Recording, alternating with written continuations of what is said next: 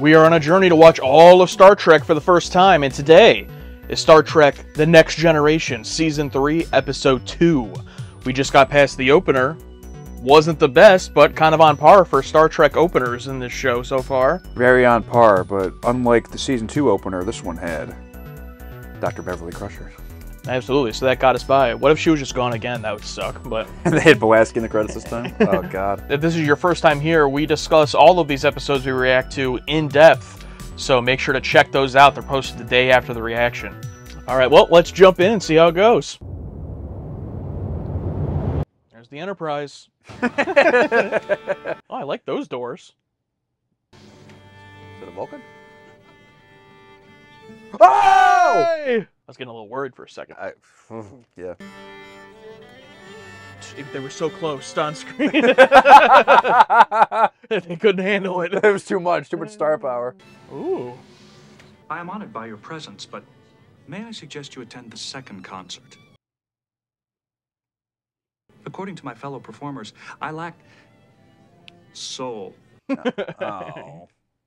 Data.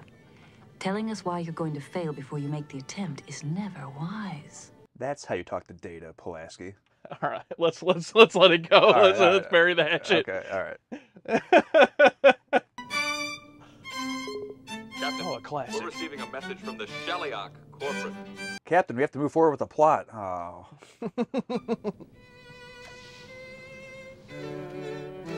oh, he thinks it's, it's his fault. Uh, The Sheliak have not attempted to communicate with the Federation for 111 years. Why are they doing it now? interesting that he knows the exact years like that. Um, maybe he looked him up. Well, that was ADR, obviously. We will begin settlement of this world in four days. Remove the humans. Humans can't survive in that environment. Sheliak are asking us to chase ghosts. Sheliak haven't broken a century of silence to send us after phantoms. Set course for Tau Cygna 5. Hmm? Okay. So some humans just marooned there, maybe? I like that name. Mr. Data, as you're unaffected by hyperonic radiation, I'd like you to go down to the planet via shuttlecraft and commence evacuation. So great seeing Beverly back in a uniform. She was just in her coat last episode. Maybe a dozen or so survive. Cliff Ball! Ooh, here we go. Look at this. I think it's some sort of shuttlecraft. Oh, it's that guy. It must be from the Federation. He's from a bunch of stuff, but most notably the country club guy from High School Musical 2. We're descendants of the original settlers from the colony ship Artemis. Hmm, okay. In the early days on Tau Cygna 5, survival was more important than history. How many are there? 15,253, sir. Ooh. What? Loading all the Enterprise shuttlecraft to capacity. Evacuation will take four weeks, four days. We need more time. Worf's head looks better every season. He looked a bit more swole, too. Oh, yeah. What a handsome race. Like that. That looks really good. Combination into, yeah. Like matte painting behind the set. Yeah, yeah, and then like it fades together pretty well. Gosheven, look what's come. Lieutenant Commander Data of the Starship Enterprise. He's an android. I'm honestly shocked. I thought we were getting just these two characters the whole time, so credit to them. Yeah. I don't think we're going to see 15,000 though. yeah, fair. The most sensible course of action is to prepare a contingency plan for the evacuation of your people. We're not evacuating. You've delivered your message, so go back to your ship. I have work to do. you have to look him up, up, up and down. See, now these are some good guest characters. Like, that guy's clearly unlikable, arrogant, but he's good. catch. Yeah. Oh, And understandable in his reasoning and point. Found a new toy, have we, Artie? Toy, Th- this is the most incredible android I've ever seen. Have you seen many? Actually, no. You're Oh. the first. Only hmm. you would get this excited over a walking calculator. I'm Ard'rian McKenzie. Perhaps I can help you. I love this. It's a shame they had to ADR the whole scene, but I need the transporters to function, despite the hyperonic radiation. Yeah, but that's him. Yes, sir. He knows not to say impossible. Yep. And I, I think Geordi finally has the visor that like I was rec- recognizable with from pictures I've seen of him. Looks like got that little bit of an upgrade. Hmm. When the treaty was first negotiated, the Federation sent 372 legal experts. What do we have? Data. All right, gotta solve a colonization dispute. Good luck. I like it. Conversation is neither required nor desired. Remove the humans from the Tau Cygna system. Three Earth days remain. May I offer a compromise? Denied. Why? The law is paramount. We are entitled. It is designed to smooth relations between races, not to act as a straight. Oh, Bro got hung up on. he's like, you're not gonna human splain negotiation and treaties to me. Especially since they think they're above them. I don't have any silly prejudice against computers. I like them. Not that any computer we have is half as sophisticated as you are. She's risen him up. I would say not. and looks at that thing. I'm contacting Starfleet to arrange transport. Get those people prepared to evacuate. We may have to move quickly. Aye, sir. A bit more than move quickly if it's gonna take four weeks and four days, and you have three days. Yeah, Starfleet needs like two business weeks to get anything done. They're not going to help. Yeah, they're not even gonna answer you in time. The Sheliak will not accept humans on their planet, and they will not hesitate to use force to remove you. We'll not be bullied off our land, not by you, and not by the Sheliak. I like this guy. I don't know if he forgot to wear a mic or what, but I like him. Do you really think it's ADR? Dude, look at every, all of his lines. If I can convince enough of the people of the necessity of leaving, Don't you mean if we can convince? No. I'm the leader now. I really like this friendship, though. It's what Data needs. Starfleet is profuse in its apologies. Like this. but It will Yep. still be three weeks until the arrival of a colony transport ship. One of their ships must already be en route. We're going to intercept that ship. The Sheliak may interpret that as a hostile act. A risk we have to take. I mean, it kind of is. Picard stands on business. I have spoken with 56 colonists. Ten of those refuse to believe a threat exists. 22 favor staying and fighting the Sheliak. Only eight were willing to consider evacuation. Use that fancy positronic brain of carry out your mission. The lives of 15,000 people are riding on you. Good luck. We're all counting on you. Is there any indication that Gosheven has changed his position? No, but a meeting will give you a chance to present your recommendations. Whoa! Fully functional. Fully functional. Come on, man. You've done this before. Among humans, a kiss usually serves to seal a friendship or indicates support, attraction. Friendship, yeah. I must assume that your intention was to express support. You really don't understand human behavior, do you? That is something of an understatement. Uh, Maybe to be more persuasive, you need to use a little reverse psychology. He's doing a Google search. Perhaps this is a situation where excessive honesty can be detrimental. Hmm. Play, paying it back. Now, I was hoping he was going to go to the computer logs. I need s- someone who's good at speeches of convincing people. Captain Kirk James T. All speeches. I wish to speak. No, leave now. Do you consider your position so weak that it cannot withstand a debate? Woo! Gotta take data to college campuses. Your effort will be valiant. And when you die, you will die for land and for honor. He's doing pretty good. Your children will understand that they are dying for a worthy cause. He doesn't have children. Or was he trying to use him as an example? Yeah. yeah, I don't think he's talking directly to the kid. I'm like, like he didn't understand he wouldn't have children. There will be no one left alive to remember. No, Gosheven's already, he knows what's going on. Uh. But what a low opinion you must have of us. I was simply attempting to describe your inevitable destruction in a manner that would have an emotional effect. And many more died, bringing water to this desert. My grandfather. He's buried on that mountain. Well, who'll be left to bury you? That's a mic drop right there. Follow me now. I don't think our chances are as hopeless as he says, and I'm willing to stake our lives on it. Any objections? Good, because here we stand. Ah. We stand with you, You're not quite there, Data, but you tried. Then here you die. Ooh. Ooh. Yeah, it's like you tried. You're trying everything. I see no reason to die needlessly. Uh oh, they're rebelling. They have learned several Federation languages, but theirs continues to elude us. Hmm. The fact that any alien race communicates with another is quite remarkable. Zismarith, what did I just say? Glass.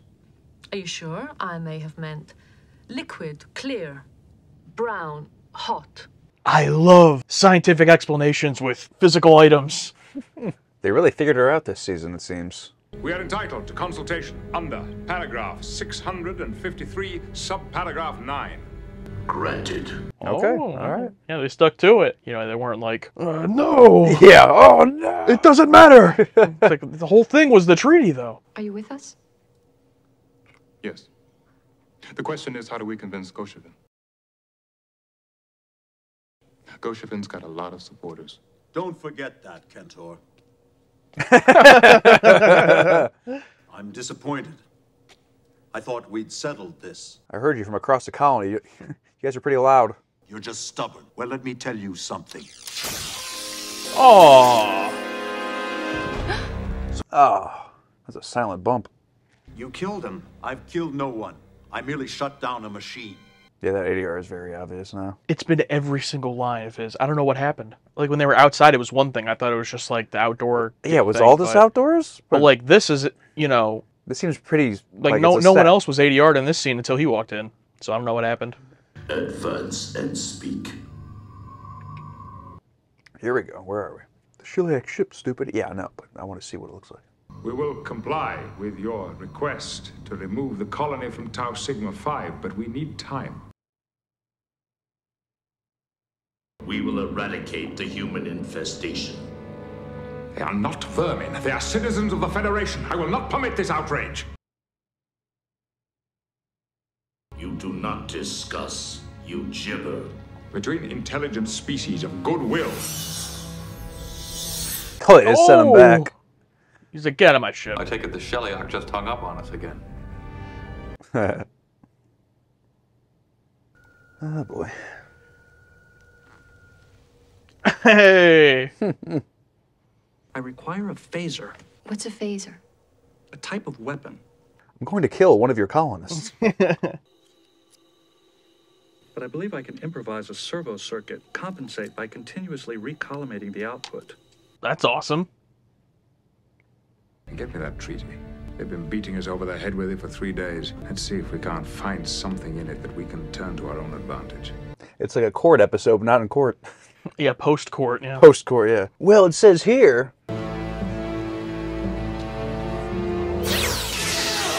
Oh!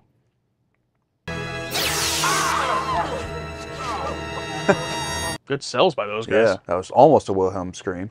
Almost. That was the stun setting. This is not. You thought you were shooting a person? Just disintegrates. Whoa! About to cause a volcanic eruption. Whoa. They may not offer you a target. They can obliterate you from orbit. You will die. Never having seen the faces of your killers, the choice is yours. Damn, Data, what a speech, dude. Still the problem of, uh, you know, getting them off the planet, but Picard's working on that. Picard's working on that. Hey, man, GG. I really was willing to stay here and die for this. This is just a thing, and things can be replaced. Lives cannot. This is hopeless. Fighting would be preferable. I like that it said legal context analysis enabled because I was wondering, I'm like, you'd think they'd have a technology to like look through it for them. Mr. Worf, get me the Sheliak. Yes, sir. Guess what, bitches? Checkmate. Gotcha. Ladies and gentlemen. Pursuant to subsection D3, I name the Grizzelas to arbitrate. They are currently in their hibernation cycle. However, they will awaken in six months, at which time we can get this matter settled. Do you want to wait or give me my three weeks? Absurd. We carry the membership. We can brook no delay. Then I hereby declare this treaty in abeyance. Wait. Negotiation is permissible. I'm gonna hang up on you now. You enjoyed that. You're damned right. yeah. Look at him. He's like, He's like, bring him back on. They are hailing us. Oh. let it sit for a couple minutes. Wait.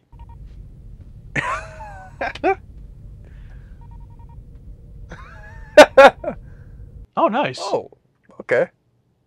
Sir? On screen. This is amazing. You may have your three weeks, Picard of the Enterprise. Thank you.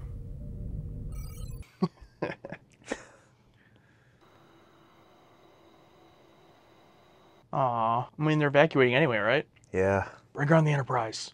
You succeeded. I could not have succeeded without your support and insight. I guess what I really want to know is do you have any feelings for me? I have no feelings of any kind. No, of course you don't.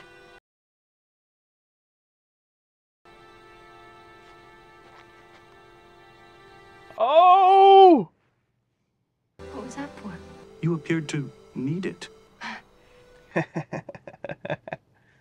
Good doctor was kind enough to provide me with a recording of your concert. Oh, yeah.